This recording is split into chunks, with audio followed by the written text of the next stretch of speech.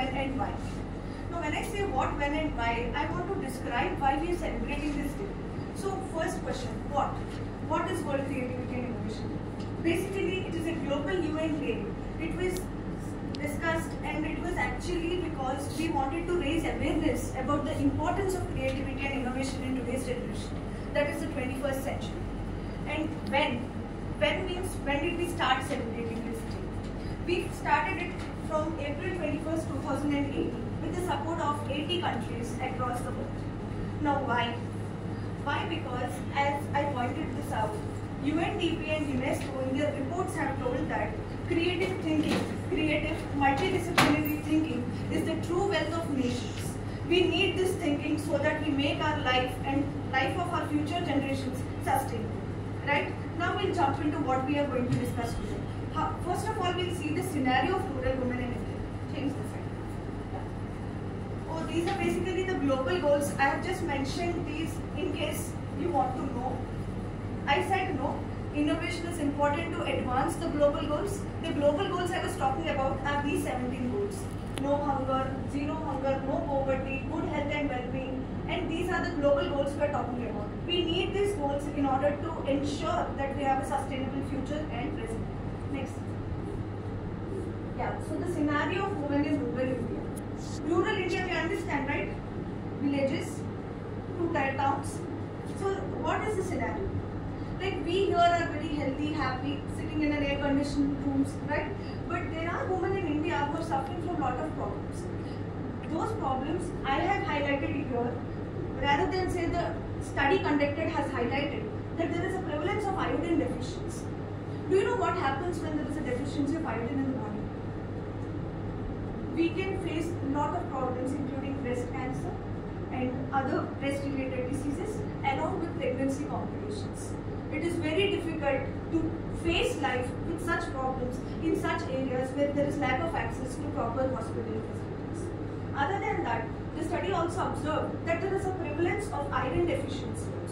And iron deficiency leads to fatigue, less concentration, and I have also mentioned nutritional disorders. Such things are very dangerous. Anemia, you, you probably would have heard about anemia, did you? It's a very difficult and dangerous to tackle and it is very heart-wrenching that women are going through these things. Now, what innovation do?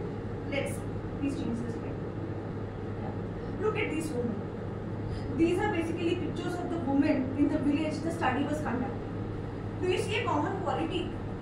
Everybody is adorning a very huge bindi. We put bindi, right? It is a part of our culture. Almost everyone does. So that was the case in that village.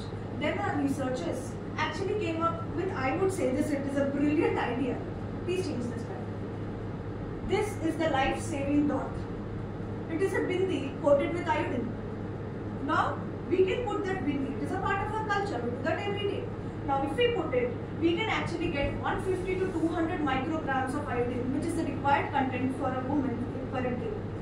And the good news is, this dot is only 10 rupees for 30 rupees. Now, it is budget friendly. That is what we want, right? This is the magic of innovation, right? Let's see another example. Please change the slide.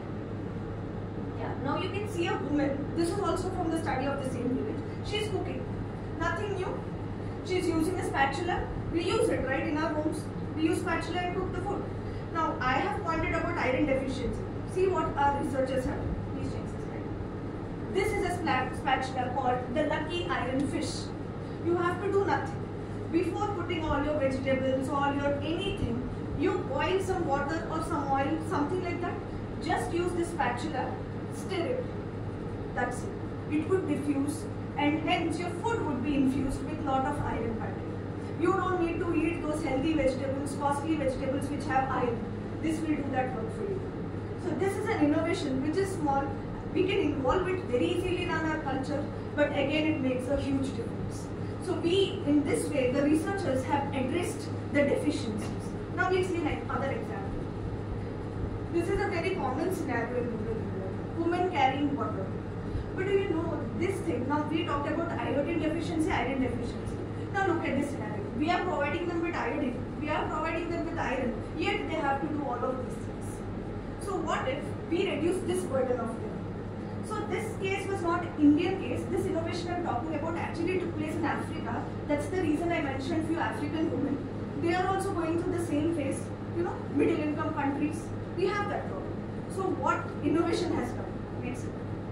These are called hippo rollers. So basically, the cylinder they were carrying, people got idea that why don't we roll them?